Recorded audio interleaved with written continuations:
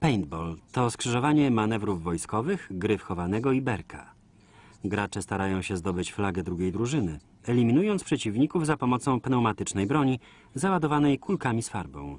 Chłopcy na zawsze pozostają chłopcami. Kulki do paintballa robi się wyłącznie z nietoksycznych materiałów. Najpierw podgrzewa się wodę w wielkim mieszalniku. Do wody dodawane są słodziki i inne środki spożywcze. Dokładna receptura jest tajemnicą firmy. Na koniec kluczowy składnik, nadający skorupce kulki odpowiednią konsystencję, żelatyna. Mikstura jest podgrzewana przez pół godziny.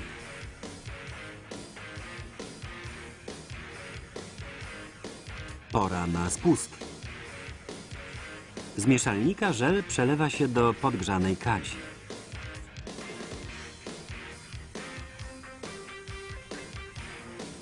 Okruchy i nierozpuszczone grudki zostają odcedzone.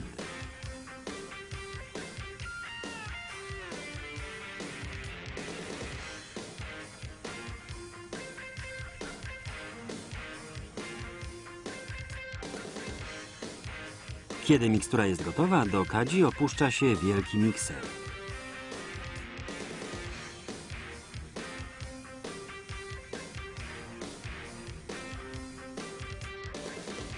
Do żelu dodaje się barwnik spożywczy i miesza około 20 minut.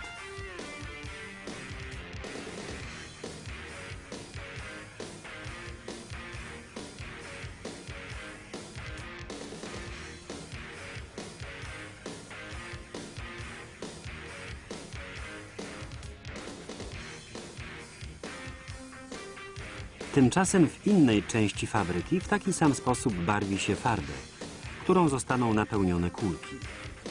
Robi się ją z glikolu polietylenowego, obojętnego składnika syropu na kaszel, zagęszczonego syntetycznym woskiem.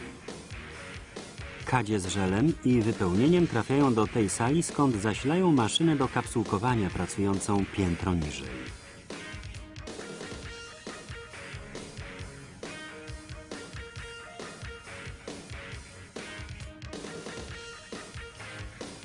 Najpierw maszyna układa cienką warstwę żelu na chłodzonym bębnie.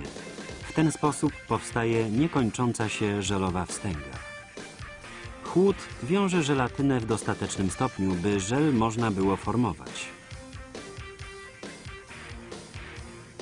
Wstęga jest dociskana do bębna z półkulistymi kieszeniami, na którym ciśnieniowo wytłaczane są połówki kulek. Następne trzy etapy maszyna wykonuje za jednym zamachem. Przykłada jedną wstęgę z połówkami kulek do drugiej, wstrzykuje farbę i skleja połówki.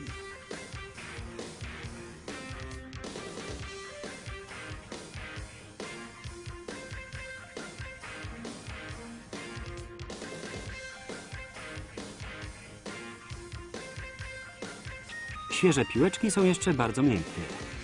Gdyby nie zostały wysuszone, straciłyby kształt. Dlatego kulki spadają na taśmociąg, który zanosi je do wielkiej suszarki.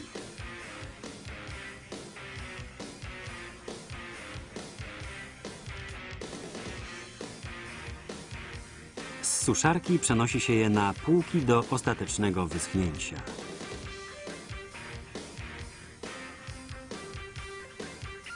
Kulki dwubarwne robi się tak samo, tyle że do maszyny wprowadza się żelowe wstęgi o różnych kolorach.